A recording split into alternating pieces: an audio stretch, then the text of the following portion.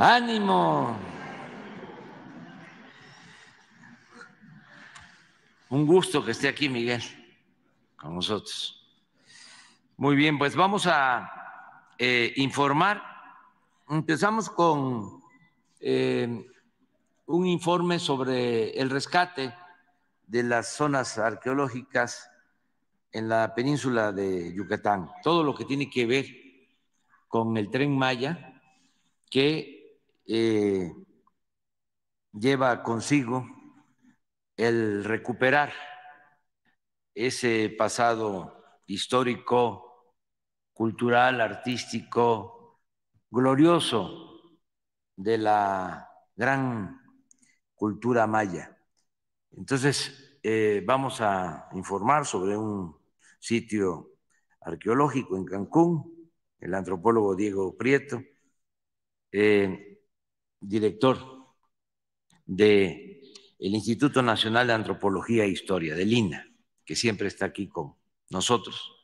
Y luego ya abrimos para preguntas y respuestas. Muchas gracias, señor presidente. Muy buenos días. Buenos días a las compañeras y compañeros de los medios y a todo el público que nos sigue en esta conferencia matutina. Seguimos adelante con el trabajo de estudio, recuperación y difusión del inmenso patrimonio histórico y arqueológico que se encuentra en los estados por los que cruza la ruta del tren Maya, este gran proyecto de desarrollo regional que no solo es un sistema de transporte, de comunicación, de carga, sino que también habilita la posibilidad de poner en valor inmensas riquezas culturales antiguas y contemporáneas que hay en toda esta región, en donde floreció y sigue en desarrollo la gran cultura, la gran nación maya. En cuanto al salvamento arqueológico, como ustedes saben, ya hemos otorgado vistos buenos de obra al 100% de los tramos 1 al 5 y en el 7. Esto significa que en estas áreas el salvamento arqueológico se concentra ya en algunas obras complementarias, pero sobre todo en tareas de laboratorio, análisis de materiales, sistematización de la información. En el tramo 6 es donde tenemos todavía un pendiente por lo que hace a ciertas áreas en donde hay monumentos de cierta relevancia que, tenemos que salvamentar. Pero como ustedes saben, ya prácticamente la obra se lleva a cabo en todos los puntos en que avanzan las diferentes tareas que todos los lunes están informando en las conferencias matutinas. Eh, como ustedes ven, el incremento en la recuperación de materiales e información arqueológica, pues ya es menor, porque se concentra en obras complementarias y en este pequeño eh, reducto, digamos así, estos pequeños espacios, puntos muy específicos del tramo 6. En cuanto a bienes inmuebles, hemos recuperado ya información de 53.385 bienes inmuebles, estructuras arqueológicas que pueden consistir en cimientos, albarradas, basamentos, plazas, áreas residenciales, pequeñas edificaciones o eh, elementos que tienen que ver con plataformas prehispánicas. Eh, el número es increíble, es una inmensa cantidad de estructuras que nos otorgan una información muy valiosa que seguramente cambiará la mirada que tenemos sobre el desenvolvimiento, el esplendor y la diversificación de las culturas mayas, de este gran tronco civilizatorio que floreció en el sureste de México, la península de Yucatán y buena parte de Centroamérica. En cuanto a fragmentos de cerámica, conocidos popularmente como tepalcates, llevamos más de 1.097.664 fragmentos. Es una inmensidad de material, son eh, enormes cantidades de cajas, todas las cuales se analizan, se estudian, se clasifican para poder determinar los sistemas de intercambio, para poder determinar eh, corrientes migratorias y desarrollos estilísticos. En cuanto a bienes muebles relativamente íntegros, podríamos hablar de 1840. Cerámica, escultura, herramientas de piedra o lítica y también eh, elementos que tienen que ver con metates y todo el trabajo doméstico. 760 vasijas, algunas ya restauradas y otras en proceso de restauración, 586 enterramientos humanos que nos hablan mucho de las concepciones de la vida, de la muerte, de los rituales funerarios y 1340 rasgos naturales asociados con la presencia de grupos humanos. Pero el trabajo no termina allí. También como parte de las tareas que ha instruido el presidente Andrés Manuel López Obrador, existe un programa de mejoramiento de zonas arqueológicas que habrá de beneficiar a 26 zonas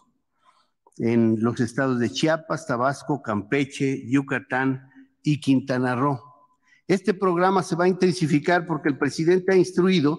que cientos de jóvenes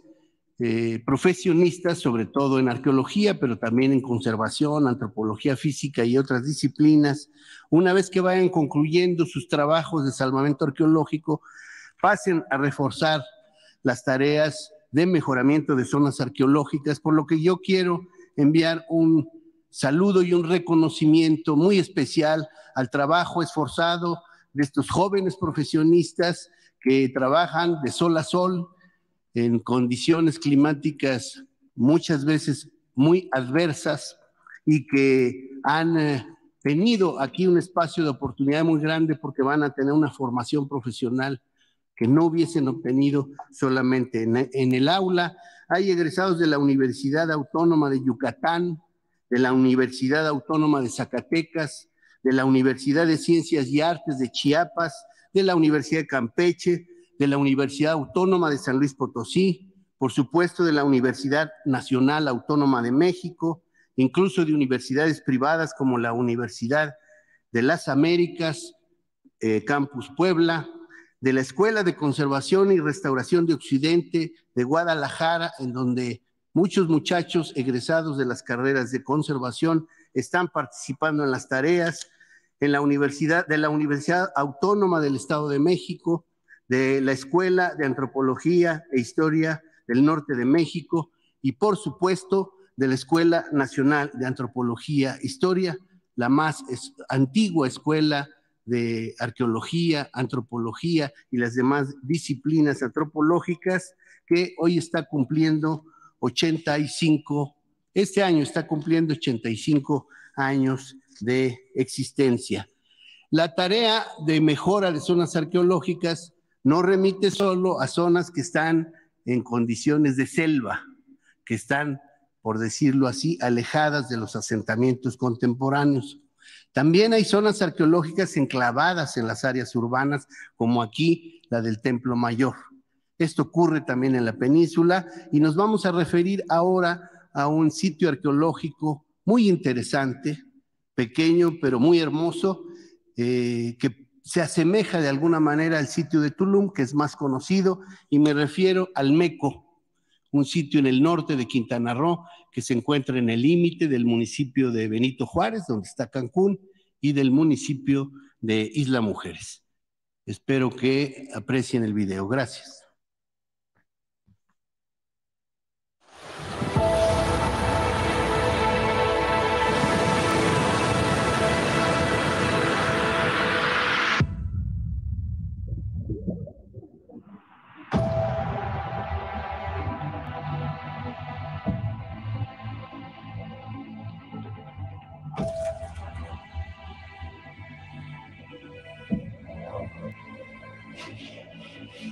En la costa del Caribe mexicano, al norte del estado de Quintana Roo, en los linderos entre el municipio de Isla Mujeres y Benito Juárez, en que se ubica Cancún,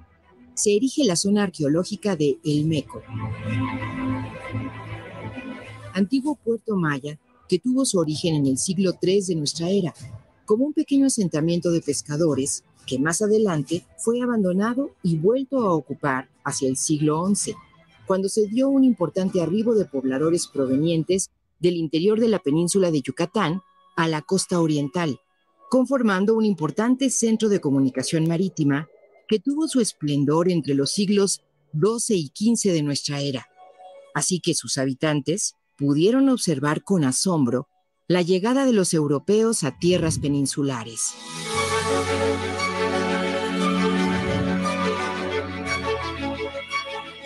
Se presume que su nombre original pudo ser Belma o Belman, que puede interpretarse como canal de comercio o falso canal, en referencia a la franja de mar que media entre este puerto continental y la isla Mujeres, ubicada a escasos kilómetros al oriente del sitio, que desde principios del siglo XX recibió el nombre de El Meco en alusión al apodo que tenía un vecino de la zona. Por su ubicación, en la costa oriental de la península, el asentamiento fue un centro nodal para el comercio marítimo desarrollado por los antiguos mayas en la bahía de Isla Mujeres, manteniendo vínculos con Tulum, Muyil y Cobá, lo que hizo que el Meco deviniera en una ciudad próspera. Su arquitectura no es tan majestuosa como la de otras urbes, pero denota delicadeza en sus acabados, destreza en la construcción de sus edificios y cuidado en su estilo y elementos decorativos. No obstante su reducida escala, la ciudad contenía espacios singulares, como la Plaza A, conjunto residencial con varios edificios de usos civiles, religiosos y de habitación para las élites, ya fuesen gobernantes, nobles o sacerdotes. Entre los vestigios ha sido posible encontrar pequeños espacios o altares para ofrendas, entierros y rituales. Entre las estructuras que lograron sobrevivir al embate del tiempo, se encuentra la plaza cívica y ceremonial donde se yergue el castillo, el edificio más alto en la región con 12.5 metros de altura, que se cree era centro de peregrinaje y punto de vigía hacia la región de Cancún e Isla Mujeres. El sitio fue documentado por primera vez por Augustus y Alice Le Plongeon en 1877 y después por Teoberto Mahler en 1891, que describió las cabezas de serpiente ubicadas en las alfardas. A principios del siglo XX, el castillo fue encalado y usado como lindero. En ese tiempo, algunos sujetos lo dinamitaron para obtener piedra para construcción lo que dejó al descubierto las etapas constructivas de este icónico edificio, que a semejanza de los edificios de Tulum, corresponde al inconfundible estilo costa oriental. En los años 60 del siglo pasado, el sitio fue cortado en dos por la carretera que une Puerto Juárez con Punta Sam. Pero ahora, gracias al programa de mejoramiento de zonas arqueológicas Promesa Tren Maya, Seba Ambalam, se plantea volver a unir la zona monumental con la franja costera, de modo tal que se convierte en un destino que combine la zona arqueológica con el atractivo de playa, para ofrecer al viajero la experiencia de un sitio arqueológico conectado directamente al mar, de cara a la magnífica isla Mujeres, abriendo nuevas áreas de investigación y de visita a este sitio increíble de la costa maya del Caribe, ubicado a unos pasos de la zona hotelera de Cancún.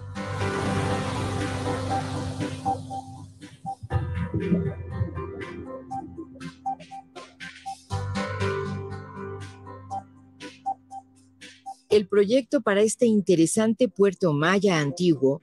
considera también la instalación de mejores servicios para la atención al visitante, lo que incluye sanitarios, recepción, área de descanso, sala de interpretación e infraestructura para la investigación y conservación del sitio. Esto permitirá articular un interesante circuito de visita en el área metropolitana de Cancún, que incluye los sitios arqueológicos de El Rey, San Miguelito y el Museo Maya de Cancún.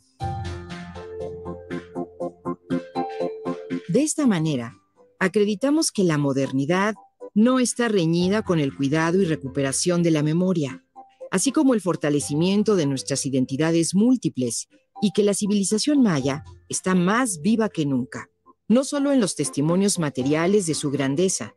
sino en la vitalidad y la fuerza de los pueblos mayas que luchan hoy por una sociedad más justa, que los incluya y les abra opciones de bienestar y persistencia. Tiolal unoh meyahil seban balam,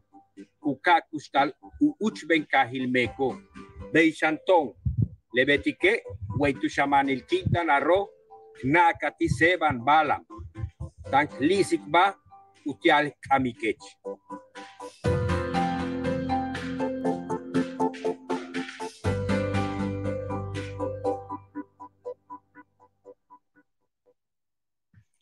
Es todo, muchas gracias.